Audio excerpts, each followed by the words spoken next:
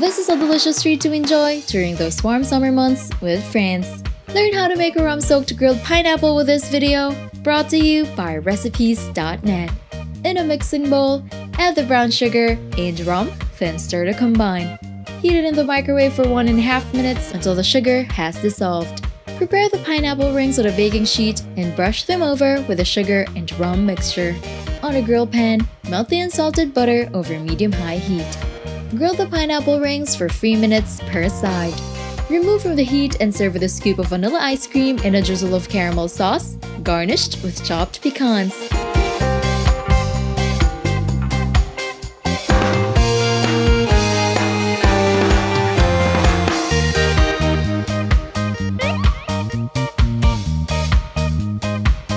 Don't forget to hit like, subscribe, and turn on that notification bell to catch more easy and tasty dishes to try at home.